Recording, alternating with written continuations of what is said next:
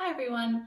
Today we're going to do a chicken noodle soup. So one of my favorite things to do when I buy the rotisserie chickens at Walmart or Sobeys or Costco is to get two meals out of it. So I bring that home, that's my quick cheat um, for everyone to have roast chicken. And then the next day what I do is make chicken noodle soup. So I take all the meat off of the bones with my chicken and then put the meat, the bones, into water. And what I'm going to do now is I'm going to heat it up. I'm going to let it simmer. This is the best type of bone broth that you can ever have. It's got all the nutrients in it and it's super duper easy and another way to get two meals out of one chicken.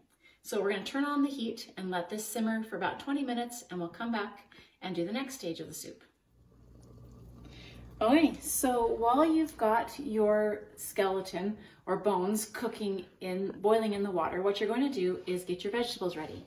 So you're going to take a pan, a skillet here, and take two tablespoons of margarine or butter. Then you're going to put in um, four, well, two stalks of carrots. I had little tiny ones, so they're actually four. And then you're going to put in two stalks of celery and then one onion.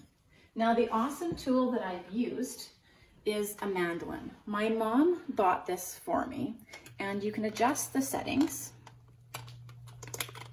to different settings and chop your vegetables. It makes it super duper fast, but you need to be careful that you don't hurt your fingers or cut your fingers. So that is your word of caution. So now what I'm gonna do is I'm going to cook these vegetables for about five to six minutes.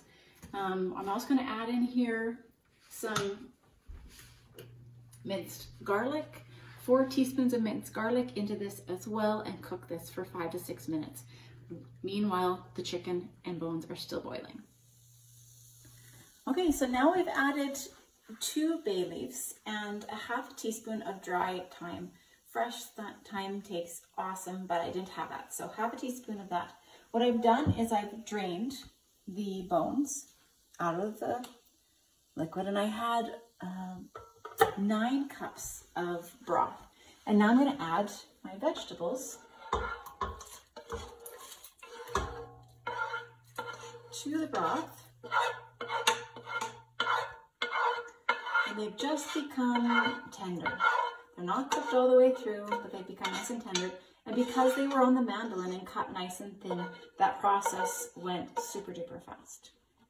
And now with that done, I'm going to add in two cups of chicken. And this is the chicken that I took off of the um, rotisserie chicken. And now I'm gonna mix it in. So I remember that I put in two bay leaves. That's important. So you can grab the bay leaves out before you serve it. Um, and now we're gonna let it simmer for a little bit longer um, to all those nice flavors mixed together. And once they've mixed together, then we're gonna get ready to add the egg noodles. So stay tuned for that. We'll come back. All right. So the soup has been um, simmering for about 20 minutes. I actually ended up adding another cup of chopped chicken just because I wanted it to be a little heartier.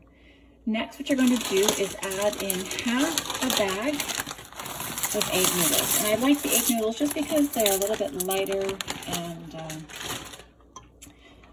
you can use whatever noodle you want to, but that's what I want to use. I'm actually gonna take out my bay leaves right now. So there's one. one. There's one. And on the search for the second one. Where'd she go?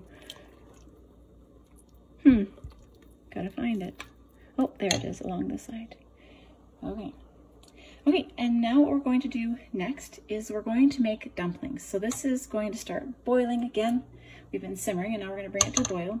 And the part that my kids love the best about this meal is the dumplings. So what I've added to the dumpling mixture here is one and a half cups of flour, one tablespoon two, sorry, two teaspoons of baking powder, half a teaspoon of salt, and three tablespoons of margarine. So what you're gonna do is you're going to cut in with a pastry mixer the ingredients together. until it's a fine and flaky texture. This is just gonna take me a little bit to do that. Excuse the fingers, they are clean.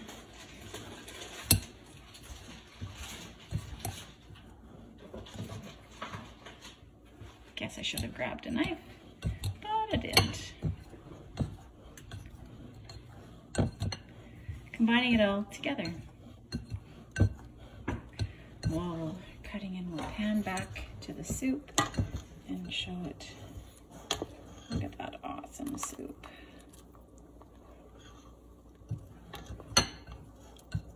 Okay, so the egg noodles are gonna cook and what we're gonna do is we're gonna add the dumplings to the top of the soup next. Okay, and now what we're going to add is our three quarter cup of milk.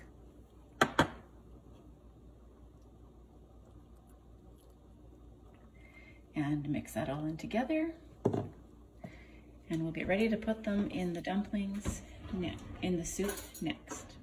Okay, so we've got the dumpling mixture all made up. Now what you do is with the boiling water, you're gonna dump um, individual dumplings into the pot, one by one. Trying not to put it directly into the water because it does make it doughy. And I just try to do little tiny ones because no one wants a huge dumpling in their soup.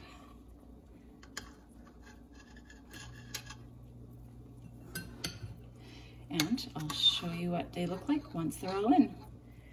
So the dumplings are all in. What we're going to do is we're going to cook it uncovered for 10 minutes.